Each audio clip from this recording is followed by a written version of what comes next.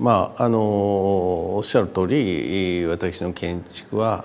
まあ、時代とともにスタイルも変わるし素材も変わるし、えー、まあ形態も変わってきましたしかし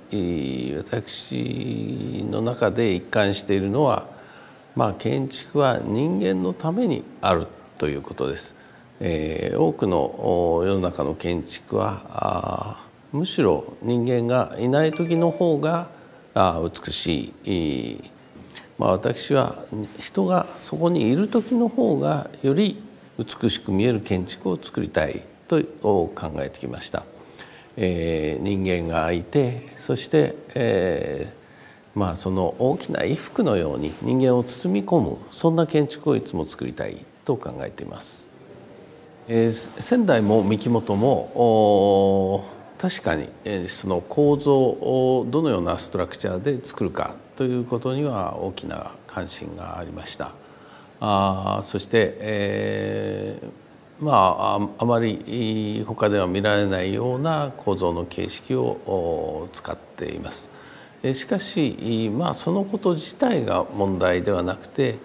そのような新しい構造を採用することによってそこにいかに人間的な空間を作るかということの方がより大きな問題です。例えば仙台メディアテックの場合にはあのようなあ大きな木の幹のようなあチューブを、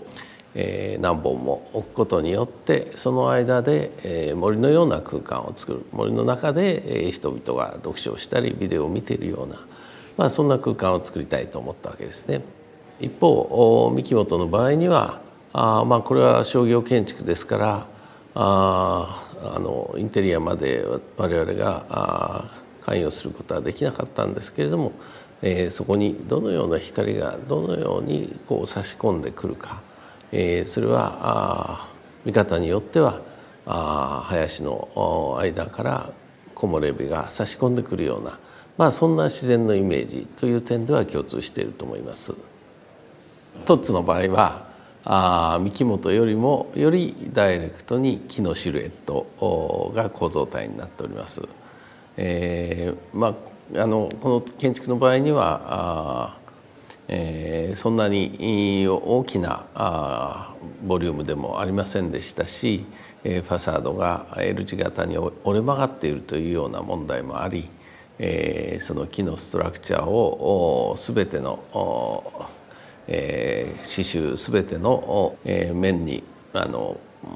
連続させることによって、え、この木に囲まれたスペースというイメージをより強く表現したいと思ったわけです。え、私はまあ随分前から建築と周辺環境自然環境との間の、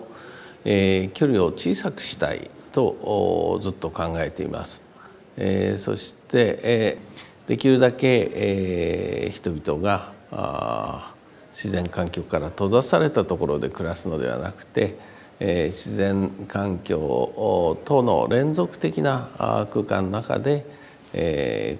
ー、生活をしたり仕事をするということを目指して建築を作っています。